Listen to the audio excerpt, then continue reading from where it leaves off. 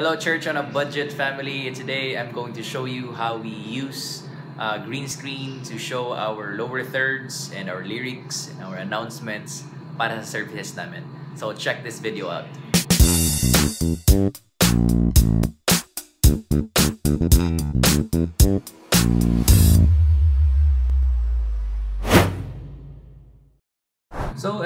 Will start with our presentation software. In our church, we use Easy Worship 2009. So, itong gagawin natin, i-import lang tayo ng any song. So, ito, i-add natin dito is Graves into Gardens by Elevation Worship. And as you can see, ang background ng song na to is color green. So, let's just see here. Green siya dito sa background. So, all of our backgrounds for our lyrics are color green. So, ito yung lyrics namin. They are all lined up. Make sure lang na you can see it like this dito. Ganyan yung format niya.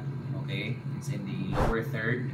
How do you do that? You actually go to your format dito. Format namin. And then dito sa song specifically, you choose center and then bottom. Alright? Kasi pag ito naka-center, aangat siya doon. Pero dapat ito naka-bottom. Okay. Sa font namin, we decided to go sa 7. Uh, that worked for us perfectly. And then ito yung font na ginagamit namin. It's CMG Sans Semi-Bold. Ayun. So we chose this font because it looked good to us. So we tried different fonts. We tried Poppins. We tried all the Sans na fonts. But um, this font worked for us. So, ito, may shadow din kami and outline. We just chose the lightest sa weight para lang ma-separate siya sa video namin. So, ayun. Press OK and that's it. So, ayun, nakikita nyo ngayon, naka-overlay siya dyan. Ganyan yung itsura at just one click of a button here sa switcher namin. Nasa-show siya at now off. So, ayun. So when you go to the ATEM control here in the upper right, you will you will see the palettes. Okay, palettes yan, and then you will see color generators. And what we need here is the upstream key. All right, upstream key, because uh, this will be our overlay. Now there are four options: Luma, Chroma, Pattern, and DVE. Choose the Chroma. Okay, and then fill source should be number four kasi nga nasa number four yung uh, media natin ng computer. So choose number 4 and then chroma sample, very important. Uh, itong chroma sample is very simple. Just click that para ma-set mo to and then find a spot dyan sa screen mo.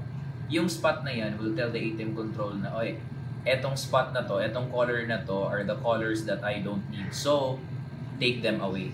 So, eto actually. So, dito sa switcher natin, makikita natin may box. Ayun. As I move it here, namamove din siya. So, eto yung color na, ayun na nga, ini-interpret ni ATEM na, oh, these are the colors I will remove.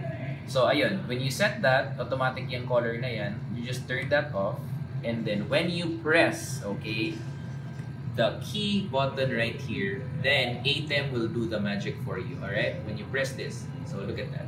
When you press key, pow, right there. Okay, nati-trigger nito, it will become red because it is triggering now as key. So pag i-off, ayun, on, right? Alright, so that's it for lyrics. Uh, we use green screen and even yung mga overlays namin for word ni Pastor and his slides, we do a separate edit naman. The software we use there is a PowerPoint presentation by Microsoft. Uh, it's the same concept, green screen pa rin because we want all the greens to be removed. Bakit green? Green kasi green is a color we don't usually use dito sa live stream namin in sa church na setting and it's fine for us. And up next, I will show you how we show our announcements and videos uh, during the service proper, okay? Here we go. Okay, so here, uh, as soon as you click that dito sa computer, it will automatically show here. Very important, you don't need to turn on the key button right here because you're actually showing the full uh, video so you don't need to remove all the greens in this video so be careful turn this off when you are showing announcements or videos that um, are you know using the full frame sa video niyo so you can just leave it there and just choose camera 4 dito sa switch niya. Another thing that we do for our video are lower thirds for our speakers. So in this case, our pastor.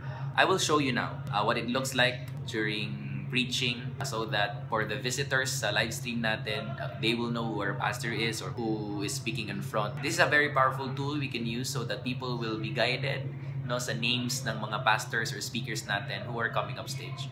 So, here it is. Let me show it to you. Here it is sa Easy Worship namin. I'm gonna play it and right there sa screen natin, it will show immediately. Now, back to the still image for now since wala tayong camera. Uh, let me play the video for you. Right there. Don't forget your key, alright? A uh, very important thing to take note when doing green screens is to have the same green color that you use for all your videos and photos because this will help the switcher no, uh, maintain its setting so that when you switch from video to photo, uh, the switcher will automatically detect the green, the specific color of green that you want to remove. So very, very important. Yeah, I encourage you to even use a hex code para talagang consistent yung greens na ginagamit niyo. Alright? So that is the end of the video. Thank you so much for checking it out. Thank you for what you're doing sa church ninyo week in and week out. You know, you keep on serving, you keep on doing what you do excellently. And this is one of this. You know, if this content has helped you, like the video, share it to your friends, and even comment down below if you have some questions. And never forget to lay hands on that subscribe button so you won't miss a video I will be releasing this coming day. So thank you so much everybody. If you have some content suggestions, please comment down below so I can make a video especially for you. Thank you so much and peace y'all.